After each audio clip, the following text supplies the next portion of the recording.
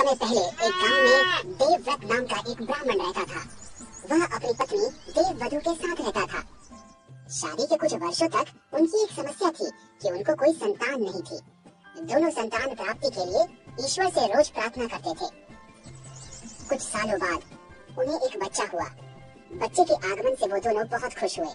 उन्होंने बच्चे को ईश्वर का आशीर्वाद माना। देव वधु अपने बच्चे का ध्यान रखती थी और उससे खूब प्यार करती थी।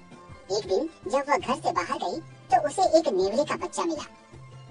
उस नेवले के बच्चे को यूँ ही अकेला देख देव वधु को उस पर दया आ गई और वह उसे अपने घर ले आई।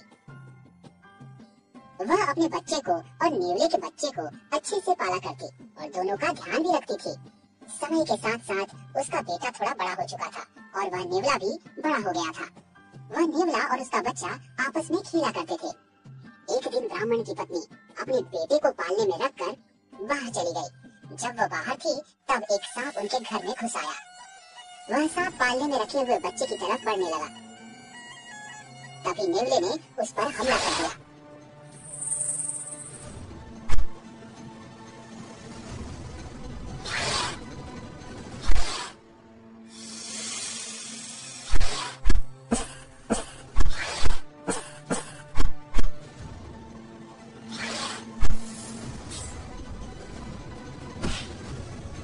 दोनों के बीच लंबे समय तक लड़ाई हुई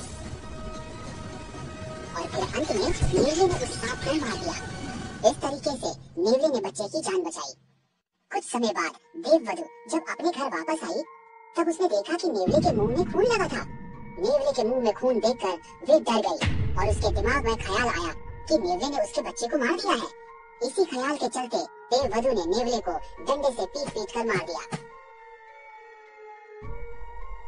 नेवले को मारने के बाद वह अंदर गई। तो उसने देखा कि पालने में उसका बेटा सही सलामत सो रहा था और पास में एक मुर्दा सांप पड़ा हुआ था। यह देख ब्राह्मण की पत्नी को समझ में आ गया कि नेवले ने उनके बेटे की जान बचाई थी और जान बचाने के लिए उसे सजा के तौर पे मौत मिली। ऐसे में देव वधु ज़मीन पर बैठकर रोने लगी। तभी उसका पति ब्राह्मण वापस आया और उसने अपनी पत्नी से पूछा कि क्या हुआ था? अपने पति के सवाल पूछने पर देव वधु ने उसे सारी बात सुनाई। देव वधु ने यह भी बताया कि उसे अब पछतावा हो रहा है। ऐसे में उसके पति ने देव वधु से कहा, तुमने बच्चे को अकेला छोड़ा था। इस बात की सजा तुम्हें मिल रही है। इस कहानी से हमें ये सीख मिलती है कि जो जैसा होता है, वैसा दिखता नहीं है। हमें हमेशा पूरी जानकारी लेने के बाद ही फैसला करना चाहिए।